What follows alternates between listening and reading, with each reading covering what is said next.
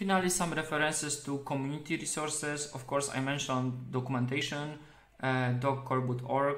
Uh, there is wiki, which is right now deprecated, but still has a lot of valuable information.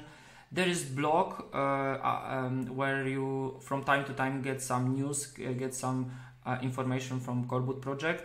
There are IRC channels at Freenode. there is there is Coreboot channel, there is flashrom channel. There is also Slack, um, uh, slack.com. There is mailing list. Uh, there is a Gerrit where you can review the code.